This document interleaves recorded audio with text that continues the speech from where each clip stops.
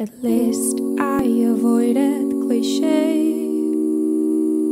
Holding nobody's hand along the Champs Elysees. Taking my time, breaking bread, sipping wine meant for two.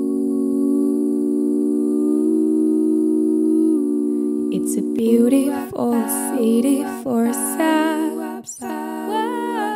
But turn out the lights, we're too clever for that. And I know, I know, we're not in love, but with all this old town, with the view of us, thoughts from the tourist.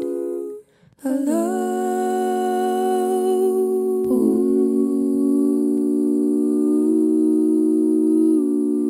Could fall for the streets of Paris,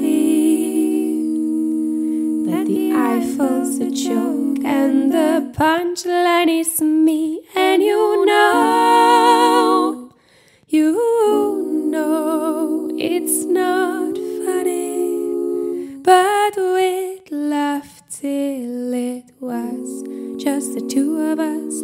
Thoughts from the tourist.